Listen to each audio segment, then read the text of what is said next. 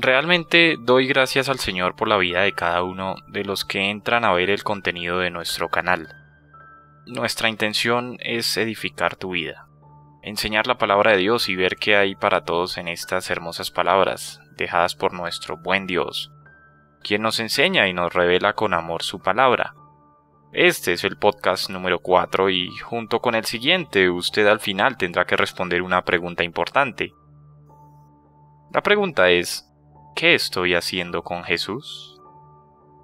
Usted tendrá en mente una o varias respuestas, pero permítanme llevarle conforme estudiamos la escritura con cuidado a que contraste con su respuesta, la reafirme o tenga que cambiarla. Bienvenidos a Tengo Preguntas, mi nombre es Leonardo y es tiempo de comenzar. Ahora quiero invitarlo a que abra su Biblia en Mateo capítulo 27 para nuestro estudio de la palabra de Dios en esta hora. Recuerde Mateo capítulo 27. Vamos a comenzar un estudio de los versículos 11 al 26. Y en este pasaje, la pregunta más importante, la más decisiva, la más seria que jamás podría ser presentada por una persona es hecha. Aparece en el versículo 22.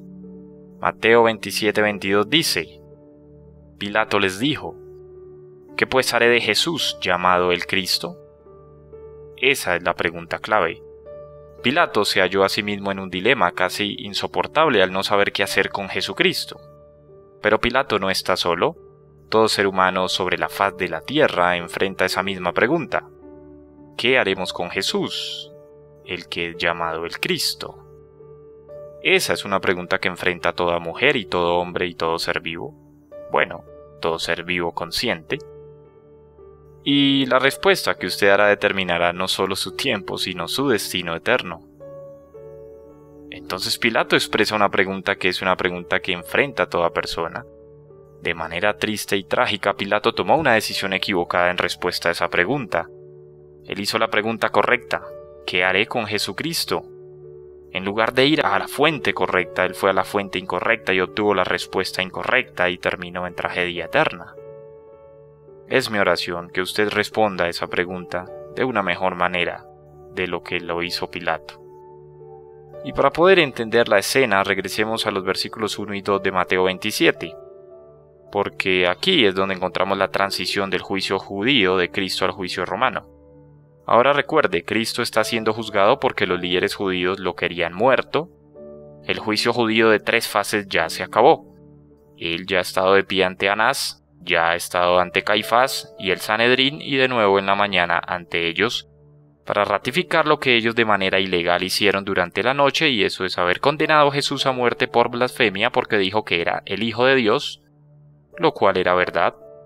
Ellos querían deshacerse de él, y para hacer eso ellos tenían que lograr que los romanos se involucraran, porque durante mucho tiempo bajo la ocupación romana, los judíos no habían tenido el derecho de ejecutar a nadie, habían tenido que depender de los romanos para hacer eso.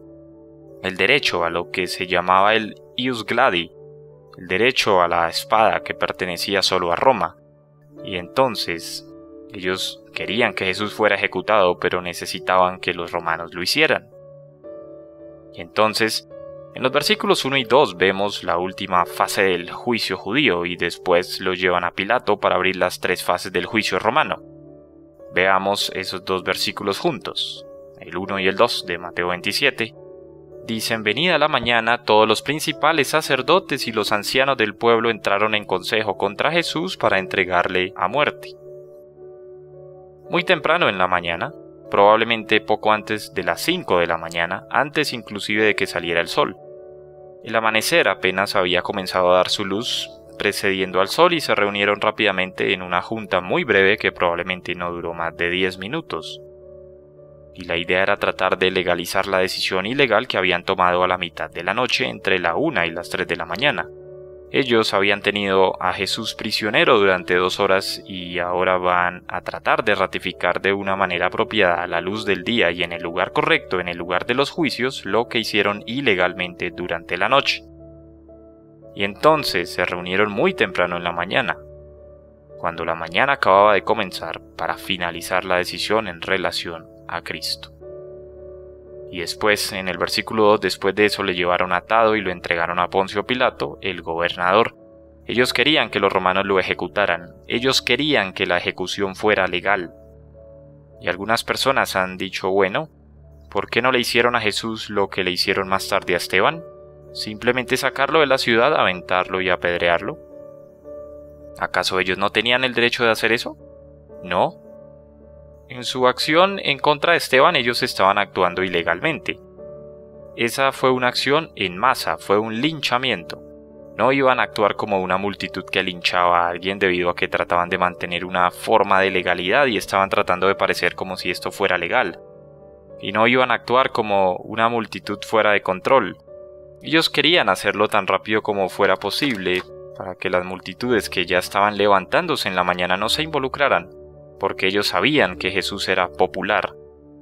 No, ellos querían mantener una fachada de legalismo.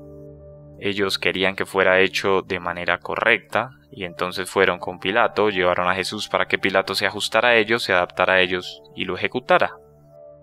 Entonces era muy temprano. La cuarta vigilia de la noche, alrededor de las 5 de la mañana cuando llegaron a la sala de juicios de Pilato, la cual es muy probable que estuviera ubicada en la fortaleza Antonia, que estaba al norte del templo, y lo entregaron a Poncio Pilato. Eso nos lleva al juicio romano. Ahora, si usted pasa al versículo 11, encontrará que ahí retomamos la escena. Los versículos 3 al 10, recuerde, son una desviación para describir el suicidio trágico de Judas, el cual se está llevando a cabo al mismo tiempo. Somos llevados en el versículo 3 a Judas y regresamos en el versículo 11 a la escena ante Pilato. El versículo 11 dice, Jesús pues estaba en pie delante del gobernador. Y eso prepara el escenario para nosotros. Ahora, vamos a ver un juicio romano de tres fases. Primero ante Pilato, después ante Herodes y después de regreso a Pilato. Y esos serán seis elementos diferentes del juicio de Jesucristo. Y lo que resuena en medio de todo eso es que Jesucristo es inocente. Con todas las cosas que se han llevado a cabo a lo largo de la noche anterior con los líderes judíos, ellos no pudieron acusarlo de manera legítima. Es como si el Espíritu de Dios estuviera probando sin lugar a dudas que Jesús de hecho es el Cordero sin mancha de Dios que no tiene pecado, quien está listo, quien es el indicado para morir por los pecados de aquellos que creen en él. Mateo, quien siempre quiere presentar la perfección de Cristo, siempre quiere elevar la majestad de Cristo, siempre quiere mostrar su pureza, lo hace inclusive en esta escena. Todas las cortes de los hombres, todos los esfuerzos de los hombres y demonios combinados juntos, no pueden acusar de manera legítima en ningún área a Cristo, y el registro es evidente. Él fue matado debido a que lo odiaban y lo rechazaban. Fue la maldad de sus propios corazones, y no algo que Cristo hubiera hecho. Y entonces Mateo, al llevarnos al juicio romano, va a cumplir lo mismo que hizo a lo largo del juicio judío, y eso es la exaltación de Jesucristo. Y el registro en las escrituras es evidente para que todos los hombres y mujeres de todas las épocas lean que Jesucristo fue crucificado por el odio de los hombres, siendo él una persona absolutamente perfecta y justa, sin pecado, majestuosa, el Hijo de Dios. De hecho, fue aquel en contra de quien no pudieron traer ninguna acusación, ni Caifás, ni Anás, ni el Sanedrín, ni los testigos falsos, ni Judas, ni Herodes, ni Pilato. Todas las cortes de los hombres no pudieron acusar de manera legítima al Hijo perfecto de Dios. Ahora, al avanzar a través de los versículos 11 al 26 veremos algunos elementos que son importantes para nosotros, y estos elementos simplemente se abren en el pasaje, pero cada uno de ellos demuestra la inocencia de Cristo, cada uno de ellos demuestra su justicia perfecta, Comencemos en el versículo 11 con la acusación de los judíos. La acusación misma, o mejor dicho, la falta de una acusación legítima, habla volúmenes acerca de la perfección de Cristo. En el versículo 11 dice, Jesús pues estaba en pie delante del gobernador y éste le preguntó diciendo, ¿Eres tú el rey de los judíos? Y Jesús le dijo, Tú lo dices. Ahora, esta es una antesala al hecho de que él estaba haciendo una pregunta en relación a la acusación que habían hecho los judíos. Mateo no nos da esa acusación. Y para entenderla tenemos que ir al Evangelio de Juan y entenderemos el versículo 11 mejor. Entonces veamos el capítulo 18 de Juan. Juan capítulo 18. Pilato en Mateo 27:11 simplemente le hace una pregunta a él acerca de si es el rey de los judíos. Y nosotros nos hacemos la pregunta de por qué le preguntó eso. La respuesta es porque esa fue la acusación que veremos en Juan capítulo 18. Ahora, en Juan 18 retomaremos la historia en el versículo 28. Y vamos a tener que armonizar los evangelios para poder entender de manera plena esta escena tremenda.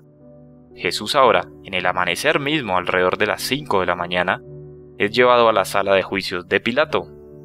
Dice en el versículo 28, Llevaron a Jesús de casa de Caifás, esto es de la casa de Caifás y después al pretorio del juicio, el cual sin duda alguna se llevó a cabo en la sala apropiada de juicio precedida por Caifás, y ahora que era la tercera fase ahí en el lugar correcto muy temprano en la mañana. Y ahora, él es llevado a la sala de juicio, es muy probable que fuera en la fortaleza Antonia, todavía es muy temprano. Y ellos, esto de los judíos, no entraron en el juicio. Esto es para no contaminarse y así poder comer la Pascua no iban a entrar a la sala de juicios de Pilato, porque no querían contaminarse y tenían esa tradición de que cualquier contacto con un gentil los contaminaba. Entrar a un hogar de un gentil los contaminaba. Tenían todo título de supersticiones absurdas registradas en el Talmud, tales como el hecho de que cuando una mujer gentil aborta un bebé, ella avienta al bebé por el caño, por el drenaje y de esta manera toda la casa es contaminada por un cuerpo muerto y si usted entraba a una casa gentil usted se contaminaba y ellos creían que los gentiles eran inmundos. Y entonces, para mantener el lugar de limpieza conforme se acercaba la Pascua, querían asegurarse de evitar un contacto de ese tipo. Es de hecho hipocresía de todas las hipocresías preocuparse con alguna tradición tonta como esa mientras que están ocupados en ejecutar al Hijo de Dios mismo, pero eso muestra la horrible manera de pensar en sus mentes. Ellos mantienen un compromiso minucioso con su religión mientras que se apuran por matar a aquel que era la fuente de la misma. Entonces no entraron. Eso significaba que Pilato tenía que salir y así fue. Y en el versículo 29 dice, Y entonces salió Pilato a ellos, ahí afuera, al patio. Ellos están abajo de él en la calle y él estaba en un patio y les preguntó, ¿Qué acusación traéis contra este hombre? Denme una acusación. Ustedes lo trajeron aquí para un juicio, ustedes desean que yo emita un veredicto, la corte está abierta, ¿cuál es la acusación? ¿Por qué lo estamos juzgando? Y aquí francamente es el primer elemento legal que sucede en el juicio de Cristo. Pilato es un gobernador romano él ha sido colocado en Judea y en Palestina para tener una presencia romana. Había otros gobernantes ahí, estaban los Herodes, estaba Herodes Antipas, que gobernaba en Galilea y Berea al norte, estaba Herodes Felipe I, quien estaba al noreste de esa área no muy poblada y estaba alquilado, Herodes Arquelao, que gobernaba en Judea y Samaria y Dumea. Eran los tres hijos de Herodes el Grande, quien fue una vez el rey domita de toda Palestina habían matado a algunos de sus hijos, los restantes habían heredado parte de su reino. En cierta manera eran reyes pequeños, mucha pompa y circunstancia y no mucho poder. Ellos tenían algo de poder, ellos tenían algo de gobierno, habían acumulado algunas fortunas, pero básicamente los procesos judiciales y militares pudieron haber estado en las manos del gobernador romano, quien había sido colocado ahí para mantener la paz romana, la Pax romana.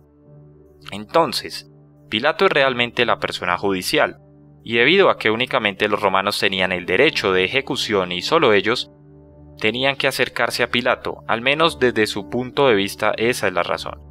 Desde el punto de vista de las escrituras, Jesús tenía que ser ejecutado por los romanos porque él moriría una muerte romana como señalaremos en un momento. Ahora, Pilato había sido gobernador desde el año 26 y gobernaría por unos 10 años hasta el 36 después de Cristo. Entonces, traen a Jesús a Pilato y de una manera apropiada como juez, él sale y lleva a cabo una cita de corte afuera de la sala de juicios porque ellos no iban a entrar. Él no va a meterse en problemas con ellos por eso. Jesús está adentro, ellos se quedan afuera, y él le pregunta cuál es la acusación, la cual es una manera bastante apropiada de comenzar el juicio. Observen su respuesta. Respondieron y le dijeron, Si este no fuera malhechor, no te lo habríamos entregado. ¿Qué respuesta tan sorprendente? Ellos le dicen, qué derecho tiene de cuestionar sus motivos, cuestionar su integridad? No te lo hubiéramos traído si no fuera un criminal. Pilato hizo una pregunta judicial adecuada. ¿Cuál es la acusación? Ellos no le dan una respuesta. Ellos simplemente condenan a Pilato porque hizo la pregunta. Ellos no estaban buscando un juez, ellos estaban buscando un ejecutor. Ellos no querían otro juicio. Ellos querían que Pilato simplemente estuviera de acuerdo con quitarle la vida. Y de nuevo, quiero sugerirle que la ausencia aquí de acusación alguna es otra afirmación de la perfección de Jesucristo. Pilato no tenía información acerca de Jesucristo que pudiera llevarlo a saber cuál había sido su acusación. Pilato vio a Jesucristo como alguien que no era ninguna amenaza. Pilato no sabía de algún crimen que hubiera cometido. Cuando se les preguntó a los judíos acerca de alguna acusación, los judíos no tendrán nada que presentar. No tenían ninguna acusación, ningún cargo. Entonces Pilato les dice en el versículo 31. Entonces les dijo Pilato, tomadle vosotros y juzgadle según vuestra ley. Háganlo ustedes. Él pudo aquí haberles dado el derecho de ejecutarlo. Si ustedes piensan que debe ser ejecutado, ejecútenlo, no quiero involucrarme en esto. Ahora, él sabía quién era Jesús. No hay duda en mi mente de que la noche anterior, cuando los soldados romanos vinieron con los judíos al huerto para capturar a Jesús, los soldados romanos estuvieron ahí porque Pilato les había dado permiso para que estuvieran allí. Entonces él sabía lo que estaba pasando, e inclusive tenía una opinión acerca de esto. Él inclusive tuvo una opinión acerca de por qué ellos querían matar a Jesucristo. Entonces, al menos en parte, él estaba al tanto. Entonces él dice, ¿cuál es su acusación? Y ellos dicen, de hecho, nosotros no queremos que seas un juez, queremos que seas el ejecutor. ¿Crees que te traeríamos a alguien que no fuera un criminal? Pilato dice que lo tomen ellos y lo juzguen ellos, versículo 31. Y los judíos le dijeron, a nosotros no nos está permitido dar muerte a nadie. Ellos ciertamente lo hicieron cuando quisieron. Mataron a Esteban, más adelante trataron de matar a Pablo y los romanos tuvieron que rescatar a Pablo y llevarlo a Cesarea y colocarlo en una celda para protegerlo durante dos años. Entonces, si realmente querían haberlo matado, si hubieran tenido las suficientes ganas, lo hubieran podido matar. Pero estaban tratando de mantener una apariencia legal para que cuando el pueblo comenzara a hacer preguntas, ellos hubieran podido decir que todo fue muy legal y lo hicieron los romanos y demás. Y claro, este fue el plan de Dios, lo cual también lo demandaba, y eso es lo que el versículo 32 dice, para que se cumpliese la palabra que Jesús había dicho dando a entender de qué muerte iba a morir. Y eso lo habló en Juan 12 cuando dijo, el Hijo del Hombre será levantado. ¿Recuerda eso? Esto habló dando a entender que muerte él moriría, entonces ellos estaban cumpliendo profecía, pero en sus mentes estaban pensando que estaban haciendo esto para mantener la legalidad y realmente lo estaban haciendo para cumplir el plan de Dios. Y después Pilato regresó a la sala del juicio y llamó a Jesús y le dijo, y ahí es donde entra Mateo 27:11, ¿eres tú el rey de los judíos? Ahora, ¿de dónde obtuvo esa acusación si ellos no respondieron nada? Bueno, en este punto usted tiene que ir a Lucas, y Lucas dice, y esto es algo fascinante, pero Lucas dice y usted no necesita buscarlo, simplemente lo mencionaré. En el capítulo 23, eh, versículos de Lucas, usted lo puede escribir en algún lugar. Lucas dice que ellos entonces inventaron una acusación, y esto es lo que dice, que él está pervirtiendo nuestra nación, prohibiendo pagar impuestos y diciéndose rey, haciéndose a sí mismo rey, Ahora, esa no es la razón por la que lo acusaron en el juicio judío. Ellos en el juicio judío lo condenaron de blasfemia porque él dijo que era el Hijo de Dios. Pero ellos sabían que una acusación por blasfemia en una corte romana no se iba a mantener en pie, porque los romanos no estaban interesados en ejecutar a personas por persuasiones religiosas. Eso no les serviría. Eso no iba a llevar a Pilato a involucrarse, entonces tienen que invitar una acusación en contra de Jesús que parezca ser traición en contra de Roma. La única manera en la que pueden hacer que Pilato se involucre es acusar a Jesús de algo que es una amenaza para la seguridad romana. Y los romanos tenían muy poca tolerancia hacia los rebeldes y revolucionarios y los que buscaban levantarse en una insurrección como lo habían probado mediante la crucifixión de muchos muchos judíos que habían tratado de rebelarse en contra de su gobierno, inclusive en Palestina. Y entonces ellos inventan esta idea de que Jesús es una amenaza para la seguridad romana. que él pervierte nuestra nación, que él es un rebelde, que él está agitando a la nación en contra de Roma. En segundo lugar, él prohíbe que paguen impuestos. Esto es que él no le da al César lo que es del César, y él está diciendo al pueblo que tampoco haga eso. Y en tercer lugar, que él está diciendo ser rey, que él se está presentando como un rival de César mismo. Ahora, esto es totalmente nuevo. Ellos simplemente inventan esto en el momento, y claro, las acusaciones son totalmente falsas, y Jesús no pervirtió la nación para rebelarse en contra de Roma. Él nunca incitó a una revolución social. Él nunca se rebeló en contra de la opresión romana, él nunca llamó al pueblo a hacer eso, él nunca incitó a nadie a hacer eso. Él era muy, muy sumiso, inclusive él enseñó que si un soldado romano va pasando y él te pide que cargues su carga una milla, cárgala dos millas. Él le enseñó al pueblo a responder a aquellos en autoridad sobre ellos de manera apropiada. Él también les enseñó que debían pagar impuestos. Cuando se le acercaron y le preguntaron si él pagaba impuestos a través de Pedro, el apóstol le dijo, si nosotros pagamos los impuestos así no ofendemos a nadie. Él inclusive dijo, da al César lo que es del César y a Dios lo que es de Dios. Esto es, pague sus impuestos al gobierno, pero guarde su adoración para el Señor. Y sí, él era un rey, pero no un rey que fuera una amenaza a César. Porque cuando ellos trataron de hacerlo un rey, él desapareció de en medio de ellos, no fuera que allí hubiera una rebelión y una revolución. Entonces, todas sus acusaciones eran mentiras y nuevamente, este es un testimonio maravilloso, maravilloso de la perfección de Jesucristo. Lo único que pueden inventar son mentiras de una naturaleza tan obvia que cualquier persona que lee la Biblia sabe que son mentiras. Todo lo que tiene que hacer es leer acerca de Jesús y va a saber que Él no hizo ninguna de esas cosas de las que le acusaban. Y nuevamente es más testimonio de su perfección, más testimonio de su pureza sin pecado perfecta y lo hace que sea el Cordero apropiado de Dios, que lleva el pecado del mundo. Y entonces Pilato lo vuelve a llamar y le pregunta, ¿Es verdad? ¿Eres tú el rey de los judíos? ¿Y se acuerda de su respuesta? ¿No es cierto? Él dice, bueno, soy un rey en primer lugar, le dijo a Pilato. ¿Es esta tu idea? ¿Me estás haciendo esta pregunta por ti mismo o simplemente estás llevando un mensaje? ¿Eres tú el mensajero? Pilato le respondió, ¿soy yo acaso judío? Ese no es mi problema. Tu nación y los principales sacerdotes te han entregado a mí. ¿Qué has hecho? Dice él en Juan 18:35, yo no te acuso de esto, es tu propio pueblo. Respondió Jesús, mi reino no es de este mundo, si mi reino fuera de este mundo, mis servidores pelearían para que yo no fuera entregado a los judíos, pero mi reino no es de aquí. Pero lo que él está diciendo Pilato es que mi reino es un reino espiritual, mi reino es un reino interno. En el versículo 38, después de este breve diálogo, Juan 18 dice en el versículo 38 que Pilato salió y les dijo, salió otra vez a los judíos y les dijo, yo no hallo en él ningún delito. ¿Qué es esto? Ese es el veredicto. ¿Entendió eso? Yo no hallo. Es un término de corte.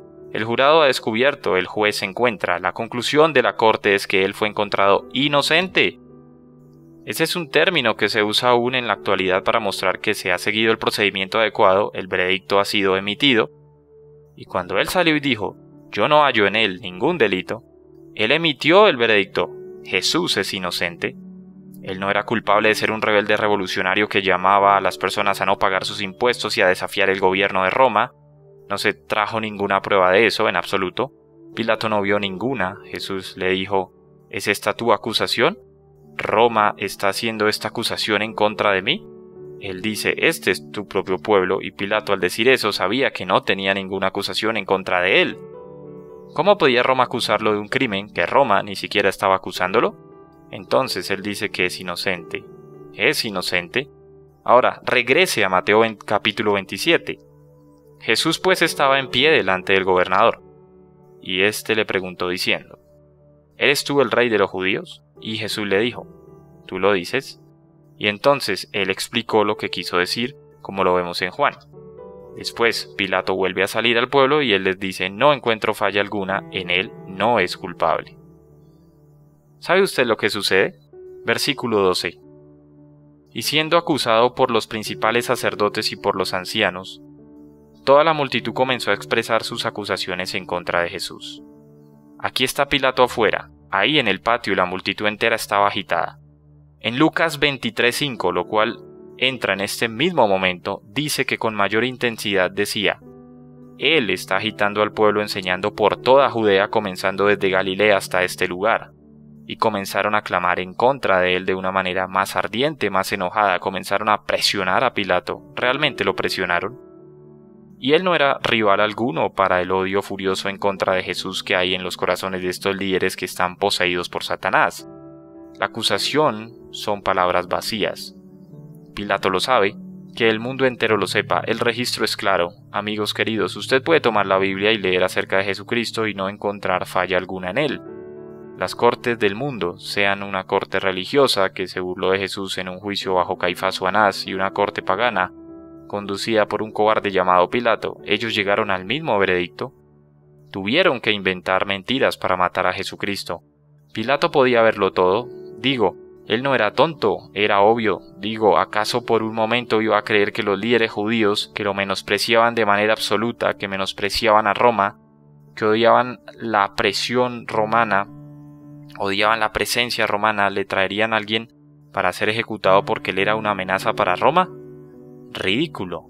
Cualquier persona que hubiera sido una amenaza real para Roma, ellos lo habrían escondido y se hubieran unido a su revolución. Ellos no lo habrían exhibido. Pilato sabía que todo esto era una farsa, y él sabía lo que está registrado en el versículo 18 de Mateo 27, lo habían hecho por envidia, lo odiaban porque él podía hacer lo que ellos no podían, él podía sanar a personas, él podía enseñar sabiduría y podía quitar la enfermedad y podía resucitar a los muertos, ellos no podían hacer eso. Él era popular y ellos no lo eran, y lo odiaban por eso. Era así de simple, inclusive un pagano incrédulo podría ver que el verdadero problema era la envidia. Entonces todo era ridículo. Jesús nunca fue una amenaza para Roma, y si él hubiera sido una amenaza real a Roma, los judíos no lo hubieran traído ahí para ser expuesto ante Roma y ser ejecutado por hacer eso, no. Él sabía que todo era un tema de envidia. Él inclusive debió haber sospechado eso cuando vinieron a pedirle soldados romanos la noche anterior para tomarlo cautivo. Él debió haber sabido cuáles eran los verdaderos problemas. No hay falla en Jesús. Y Pilato lo sabía y lo declaró inocente. Pero cuando él lo volvió a sacar, él debió haber despedido a la multitud, debió haber metido a sus soldados, debió haberlos dividido y debió darle a Jesús la protección que él necesitaba de ellos. Él debió haber hecho lo que la justicia dijo que él debió haber hecho. Pero en lugar de eso, en cierta manera, Coloca a Jesús ahí enfrente de todos y deja que todo el mundo comience a gritar acusaciones en contra de él. Y Jesús, dice en el versículo 12, no respondió nada. Y eso nos lleva al segundo punto. El primer punto aquí, el primer elemento en esta escena que muestra la perfección de Cristo es la acusación de los judíos. Su vaciedad es una mentira. La segunda es la actitud del Señor. Su actitud es una demostración de su perfección absoluta, literalmente. El versículo 12 dice, y mientras que él estaba siendo acusado. Entonces ellos simplemente comenzaron a gritar sus acusaciones en contra de él de manera constante y agresiva. Y él nada respondió, nada. Versículo 14 Pilato lo confronta y le dice, pero Jesús no le respondió ni una palabra de tal manera que el gobernador se maravillaba mucho. Él no le respondió ninguna palabra. Él había dicho lo que necesitaba decir cuando fue juzgado, el juez ya había dado el veredicto, no había nada más que decir, había terminado, ¿qué más iba a decir? El veredicto lo había declarado inocente. Y él no va a responder a la multitud y no va a responderle a Pilato, porque no hay nada que decir. Los judíos ya lo han aplastado, no hay nada que decir, y no hay nada de qué defenderse porque él debe morir, esa es la voluntad del Padre, y él está comprometido con eso, y entonces él no dijo nada cuando lo acusaron. Versículo 13. Pilato entonces le dijo, ¿No oyes cuántas cosas testifican contra ti? ¿No puedes oír las acusaciones tremendas que están haciendo en tu contra? Pero Jesús no le respondió ni una palabra, de tal manera que el gobernador se maravillaba mucho. No dijo ni siquiera una palabra.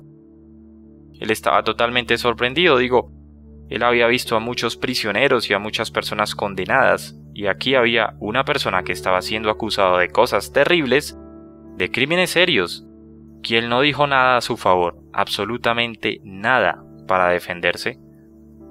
Pilato había visto un desfile constante de criminales que decía ser inocentes y clamaban por misericordia y protestaban fuertemente en contra de aquellos que querían acusarlos de crímenes. Él había visto a toda la gente demandando que fuera declarada inocente, rogando su inocencia, defendiendo su inocencia, y aquí está Jesús guardando un silencio absoluto y nunca diciendo una sola palabra. ¿Dónde está el revolucionario que causa problemas, que es una amenaza en contra de Roma? ¿Dónde está el que está protestando en contra de los impuestos, guiando a la nación a una insurrección? ¿Dónde está el rey que es un rival para César? Aquí está un hombre calmado, sereno, pacífico, quien literalmente se está ofreciendo a sí mismo sin razón alguna. Pilato sabe que es inocente, y Jesús lo confirma al no responder nada, al no decir absolutamente nada. Él está determinado como una oveja delante de sus trasquiladores, dijo Isaías. Está callado. Entonces él no abrió su boca. Él iría de manera dispuesta a la cruz. Pero, ¿qué va a hacer ahora Pilato? Él sabe que Jesús no merece morir y sin embargo no quiere irritar a la multitud y crear otro incidente. Su vida está en juego, su carrera está en juego, él enfrenta problemas serios. Como puede ver, Pilato está en una posición muy peligrosa. Permítame decirle por qué. Cuando él originalmente llegó al poder, él cometió algunos errores serios. Lo primero que hizo fue hacer un despliegue de poder cuando fue designado gobernador al entrar a Jerusalén con una escolta inmensa de soldados para mostrar su poder. Y entraron los soldados con estas banderas, y en la parte de arriba de estas banderas, de acuerdo a la historia, en bronce o algún tipo de metal había un águila, y arriba del águila había una imagen de César. Los gobernadores que estuvieron ahí antes de Pilato tuvieron la sensatez de quitar este tipo de cosas porque los judíos creían que eran ídolos, que era una imagen, los judíos habían dejado la idolatría desde la cautividad de Babilonia y no la toleraban. Y los otros gobernadores habían sido cuidadosos en esto, pero Pilato, queriendo mostrar su poder, entró con todo este grupo de soldados con esta imagen de César, lo cual creían los romanos que era un dios, y entonces aquí había un ídolo en la ciudad de Jerusalén, en la ciudad santa. Los judíos se rebelaron y protestaron y demandaron que él quitara esas banderas, y en un juego de poder él se rehusó a hacer eso. Después de hacer lo que él quiso, en su aparición esplendorosa en Jerusalén, él se volvió para regresar a más de 80 kilómetros hacia la costa en Cesarea, en donde sus cuarteles generales estaban y lo siguieron durante cinco días gritando y rebelándose y demandando algunas veces de manera paciente y otras de manera impaciente que quitara esas imágenes. Él se rehusó a hacerlo y reunió a todos esos judíos que se estaban rebelando, los colocó en un anfiteatro los rodeó con sus soldados y les dijo que si no dejaban de demandar esto, les cortaría la cabeza. Y en ese punto ellos le enseñaron el cuello, movieron su cabeza a un lado y les dijeron a sus soldados que adelante, que les cortaran las cabezas, y exhibieron sus amenazas. No había manera en la que él podía hacerlo. No había manera en la que él pudiera reportarle a Roma que él había cometido una masacre de una multitud de judíos indefensos en un anfiteatro con sus cuellos descubiertos. Además, eso podría haberse llevado a una revolución nacional. Él no podría haber sobrevivido a esa situación, porque él había sido enviado para mantener la paz, no para comenzar una guerra, y ellos exhibieron sus amenazas.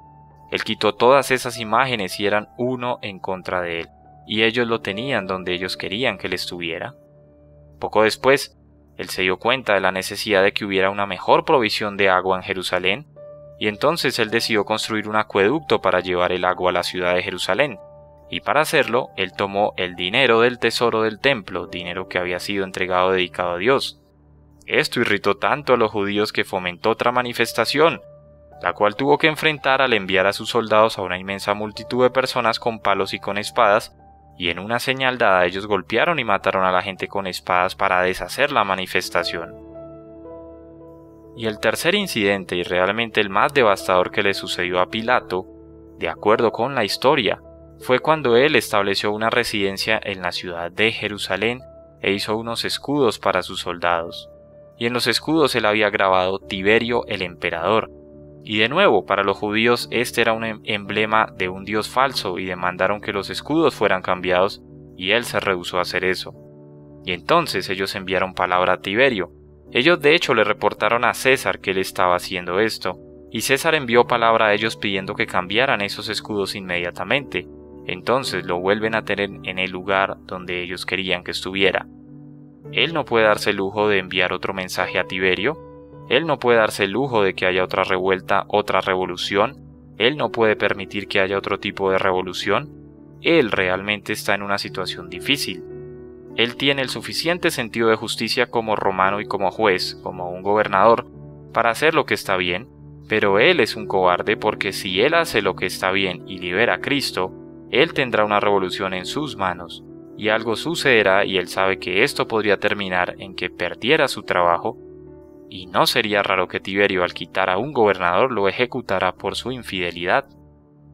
Entonces, él oye a la multitud decir, como mencioné en Lucas 23, que Jesús comenzó en Galilea y él ha llegado a este lugar mientras que están agitando al pueblo, como leí en Lucas 23.5. Y algo le viene a la mente, Galilea, Galilea. Y esa es una solución para él. Y en Lucas 23 encontramos que cuando Galilea viene a su mente, a él se le ocurre una gran idea. Y en Lucas 23, versículo 7 dice, Tan pronto como supo que Jesús pertenecía a la jurisdicción de Herodes, él le envió a Herodes, quien estaba en Jerusalén en ese momento.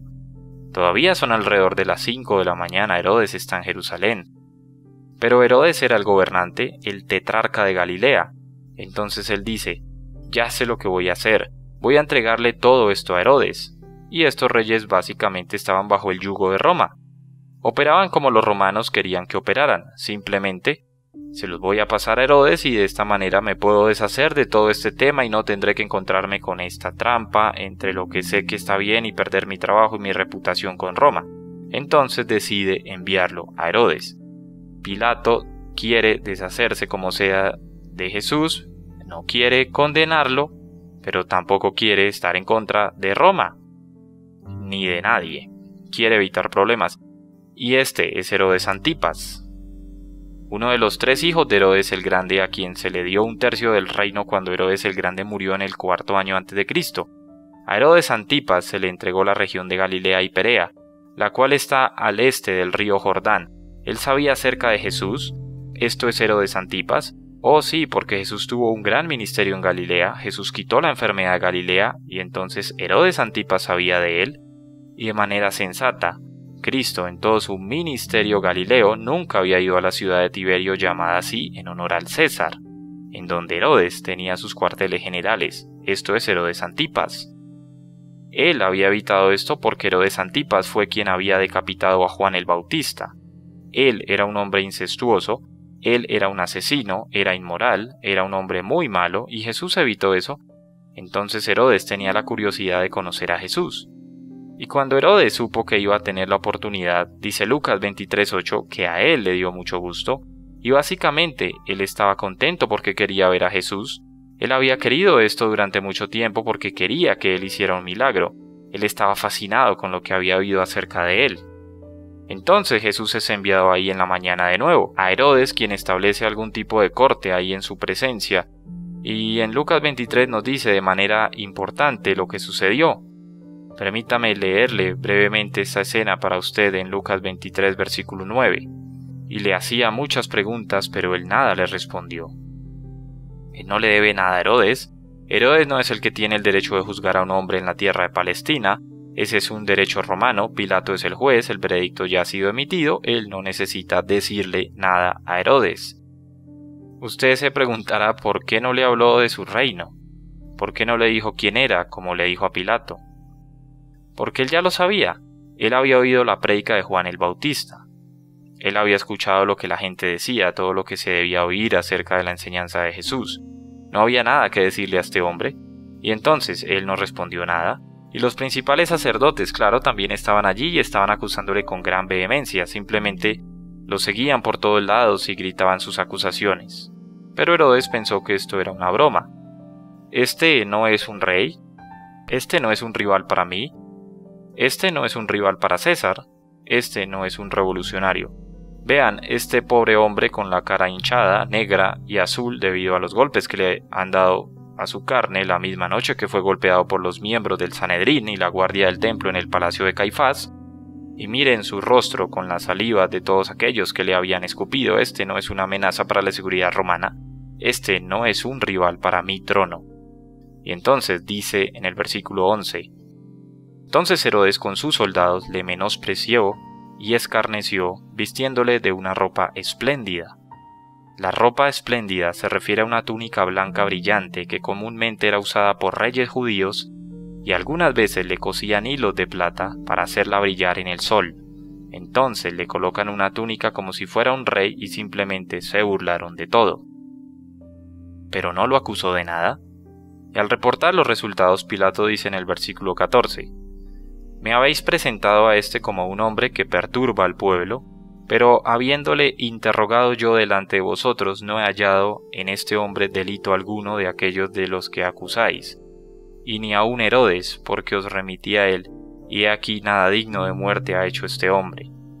Entonces él afirma que el veredicto de Herodes fue el mismo, este hombre no ha hecho nada, este hombre no es revolucionario, no es una amenaza para la seguridad, entonces el veredicto de la segunda fase ante Herodes es el mismo al de la primera fase. Es inocente, inocente. Entonces Herodes lo envía de regreso. Todavía es temprano por la mañana, él pasa por la ciudad con esta túnica puesta, el rey de quien se burlaban, y él está de regreso en las manos de Pilato, y cuando usted llega al versículo 15, Pilato tiene que volver a enfrentar a Jesús. La acusación de los judíos simplemente demuestra la perfección de Cristo. La actitud de Cristo ante Pilato es la actitud de Cristo ante Herodes de silencio absoluto. Únicamente vuelve a demostrar la perfección de Cristo. Él no tiene nada que responder porque no hay crimen, nada. Lo único que Pilato podía decir es, ¿eres rey? Y él dijo, sí, pero no como rey que tú crees que soy, soy un rey de un reino espiritual. No hay una acusación legítima y entonces aún la ira de los hombres lo alaba, Oh, como la ira de los hombres lo alaba. No pueden acusarlo de nada. Nada. Eso nos lleva a la tercera fase y, no vamos a completar esto, simplemente lo veremos de manera inicial. La enemistad de la multitud, la acusación de los judíos y la actitud del Señor y la enemistad de la multitud, todas hablan de la perfección de Cristo. La primera fase del juicio romano terminó con un veredicto de inocencia. Pilato dice que no haya falla en él, la segunda fase terminó con un veredicto de inocencia, Herodes dijo que no haya falla en él, ahora está de regreso para una tercera fase, el cobarde. Él pudo haberlo terminado después de la primera, él pudo haberlo terminado después de la segunda, ¿para qué los vuelve a traer? La razón es porque está atrapado, como puede ver, él está atrapado, él no puede tan solo desafiarlo sin que haya una revolución, y una revolución podría ser fatal para su carrera, inclusive para su propia vida. Entonces él estaba atrapado. ¿Qué hará? Él está camino al desastre, él no puede desafiar a los judíos nuevamente, cada vez que ha tratado de hacer eso ha perdido, entonces tiene una idea. Versículo 15 dice, Ahora bien, en el día de la fiesta, ese es el día de la Pascua una vez al año. Acostumbraba el gobernador a soltar al pueblo un preso, el que quisiesen. Como una concesión a un pueblo conquistado, como un acto de amabilidad y bondad, el gobernador anualmente en la Pascua soltaba a un criminal como una manera de mostrar misericordia al pueblo conquistado, y entonces su costumbre fue potenciada en esta temporada en particular como lo había sido en el pasado. De hecho, si usted lee el registro de los otros evangelios en Lucas y Marcos, descubrirá que el pueblo inclusive lo pidió, y ellos demandan que él libere a alguien, y él se da cuenta que ellos tienen en las manos, versículo 16, a un prisionero notable, literalmente a un prisionero de marca, a un prisionero famoso, no solo otro criminal común, sino alguien que era muy conocido. Su nombre es Barrabás.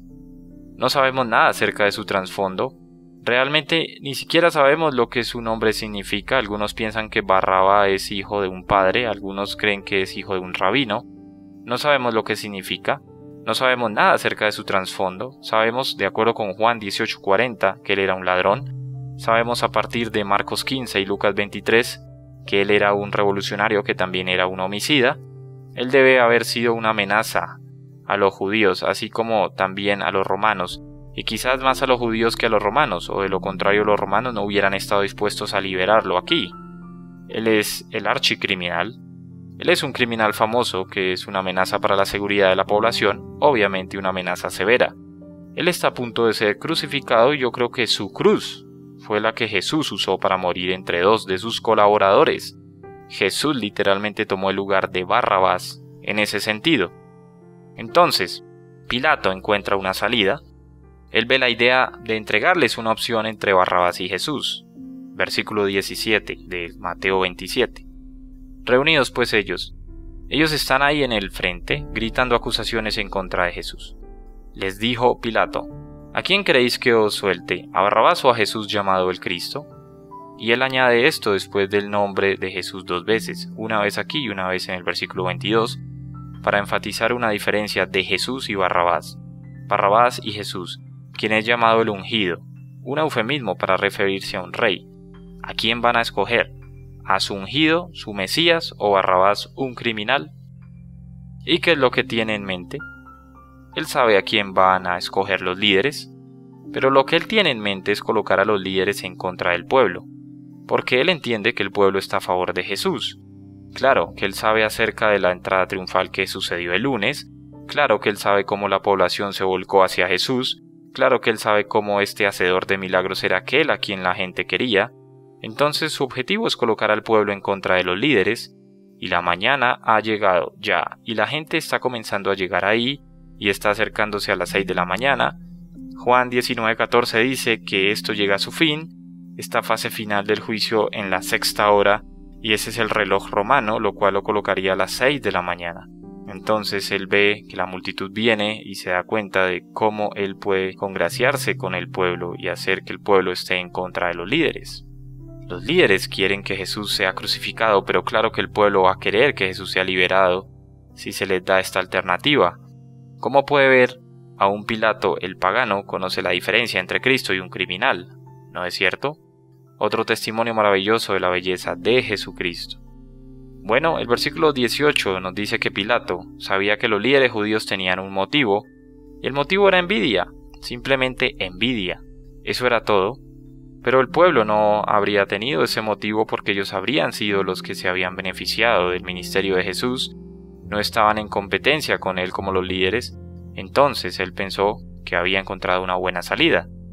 Después sucedió algo muy interesante que pienso que fue divinamente designado por Dios en el versículo 19.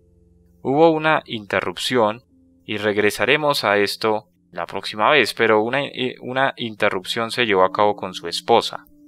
Él tuvo que poner atención a lo que estaba pasando. Ya para cuando él regrese, observe el versículo 20, después de esa interrupción que veremos más adelante, los principales sacerdotes y los ancianos resolvieron a la multitud que pidiese a Barrabás y que Jesús fuese muerto. Yo creo que Dios permitió una intervención divina, una pausa para dar tiempo a los líderes para que agitaran a la multitud y la volvieran en contra de Jesús porque el plan era que él muriera, ¿verdad? Y el plan de Pilato pudo haber funcionado, haber colocado a los líderes en contra del pueblo, quienes en cierta manera todavía estaban fascinados con Jesús, pero pudieron ser convencidos porque su fascinación era muy débil, ¿verdad? Y ya habían pasado cinco o cuatro días desde que Jesús había llegado a la ciudad y no había hecho ningún milagro y no había derrocado a los romanos, y él está ahí junto a Pilato y Pilato está diciéndoles que es inocente y que no encuentra falla alguna en él, y Herodes no encontró falla alguna en él y bien pudieron haber concluido cuando fueron agitados que cualquier persona de quien Pilato decía que no era amenaza ciertamente no era un Mesías, porque ellos pensaban que el Mesías vendría y derrocaría a Roma, y aquí está Roma diciendo que este hombre es inocente y no veían que este hombre fuera ninguna amenaza. ¿Podría alguien que Pilato verdaderamente aprobaba ser su Mesías? ¿O podían ser influenciados? Su pasión era muy débil, y después de todo Jesús había atacado de cualquier manera el templo, no a Roma, lo había limpiado, entonces los líderes pudieron haber usado cualquier tipo de influencia que tenían para agitar a la multitud. Marcos dice, incitaron a la multitud para traer la destrucción de Jesús. Ellos querían destruirlo, dice el versículo 20, querían llevarlo a la muerte. Las pasiones débiles de la multitud son cambiadas, y ya para cuando Pilato regresa después de esta pequeña pausa, él tiene un verdadero problema en sus manos porque la multitud y los líderes se han vuelto uno, él ya no puede colocar a uno en contra del otro. Y en el versículo 21, respondiendo el gobernador les dijo, ¿cuál de los dos? Y él está repitiendo la misma pregunta que hizo en el versículo 17 antes de que fuera interrumpido. Entonces, él regresa y retoma el mismo pensamiento. Muy bien, ahora estoy de regreso. ¿Quién quieren que le libere? Y ellos respondieron, ¿quién? Barrabás, Barrabás. Estoy seguro que fue conmovido. Él había subestimado el poder de los líderes Él había subestimado los corazones débiles de la gente, debo decir sobreestimado. Él no sabía nada acerca de los demonios del infierno que estaban involucrados en la escena, ni sabía nada acerca del plan de Dios. Él fue conmovido. Y de su boca sale la pregunta del versículo 22. ¿Qué pues haré de Jesús llamado el Cristo? ¿Qué quieren que haga con Jesús? Es casi como si estuviera boquiabierto. ¿Qué voy a hacer entonces con Jesús? Y todos ahora se han vuelto uno y todos le dicen que sea crucificado. No sirve de nada. Ellos quieren la sangre de Jesús. Él no va a poder cambiarlo. Él no va a poder prevenirlo. Si Él no se va a pegar a la justicia simple, ¿por qué ha de esperar que una multitud controlada por sus sentimientos lo haga? Él estaba en pánico, él no quería violar la justicia, pero tampoco quería comenzar una revolución, no servía de nada, no servía de nada. El gobernador dijo en el versículo 23, ¿por qué? Y él está de regreso a donde comenzó, ¿qué mal ha hecho? Y quiero decirles, damas y caballeros, amigos, nuevamente que aquí está el testimonio de las escrituras de que cuando todo se ha acabado en todo aspecto del juicio de Cristo, Él sale irreprensible. ¿Lo ve? Ese es el testimonio que nos están dando las escrituras, que ninguna acusación es legítima. Pilato está diciendo, ¿qué mal ha hecho? Y su respuesta, ellos gritaban aún más diciendo, sea crucificado.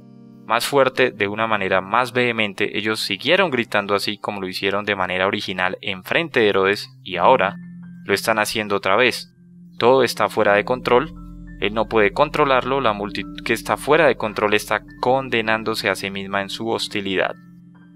Y en el versículo 24 dice, viendo Pilato que nada adelantaba, no había nada que pudiera hacer.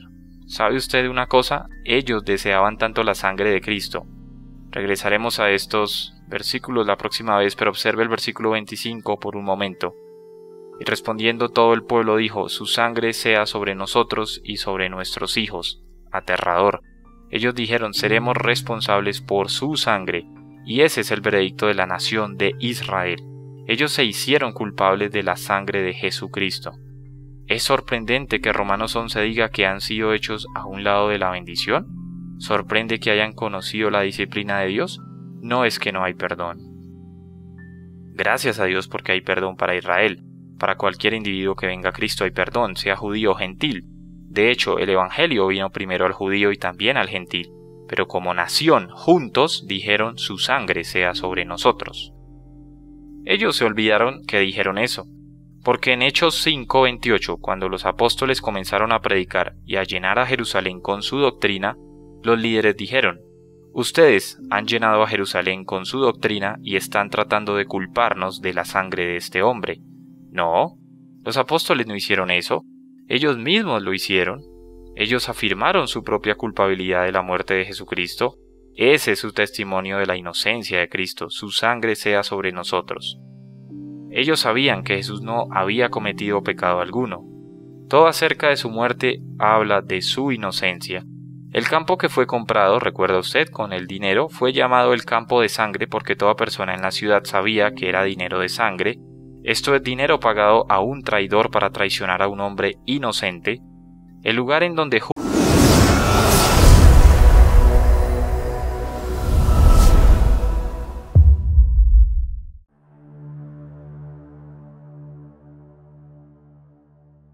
Realmente doy gracias al Señor por la vida de cada uno de los que entran a ver el contenido de nuestro canal. Nuestra intención es edificar tu vida, enseñar la palabra de Dios y ver qué hay para todos en estas hermosas palabras dejadas por nuestro buen Dios, quien nos enseña y nos revela con amor su palabra. Este es el podcast número 4 y junto con el siguiente usted al final tendrá que responder una pregunta importante. La pregunta es, ¿Qué estoy haciendo con Jesús?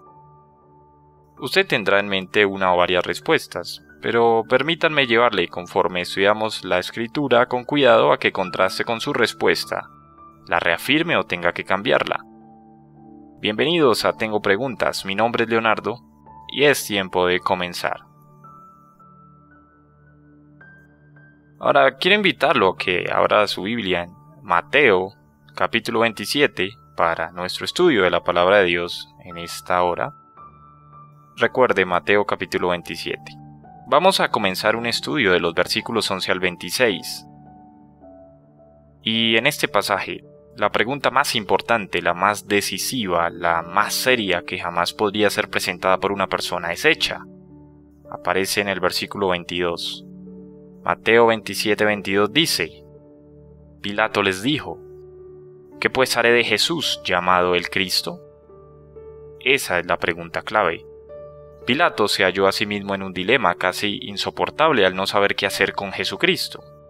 Pero Pilato no está solo. Todo ser humano sobre la faz de la tierra enfrenta esa misma pregunta. ¿Qué haremos con Jesús, el que es llamado el Cristo? Esa es una pregunta que enfrenta toda mujer y todo hombre y todo ser vivo.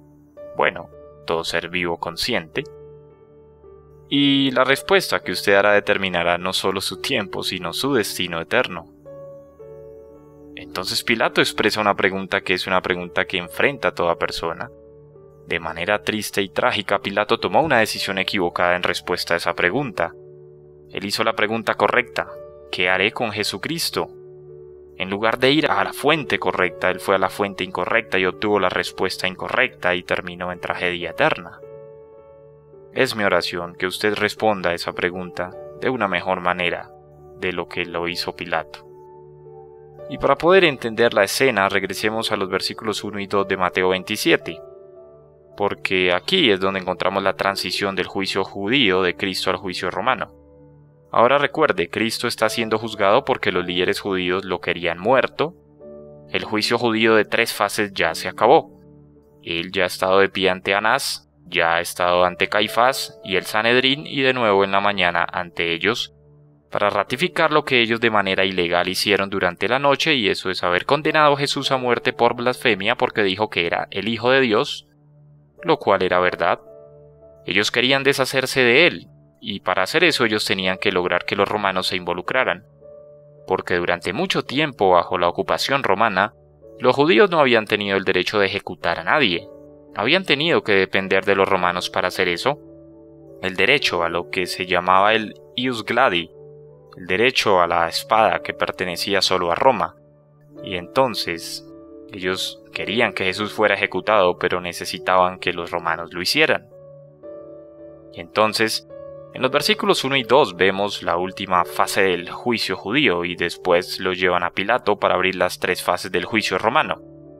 Veamos esos dos versículos juntos, el 1 y el 2 de Mateo 27. Dicen, venida la mañana, todos los principales sacerdotes y los ancianos del pueblo entraron en consejo contra Jesús para entregarle a muerte. Muy temprano en la mañana, probablemente poco antes de las 5 de la mañana, antes inclusive